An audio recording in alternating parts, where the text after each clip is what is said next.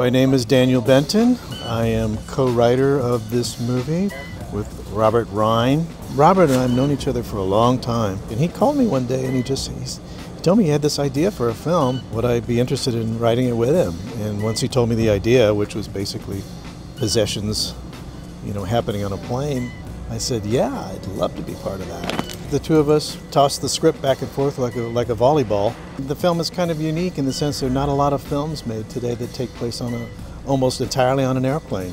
You'd think it might be claustrophobic in the beginning, but no, it really opens it up because it, it enables the characters to really explode with, with with the crazy stuff that they're doing.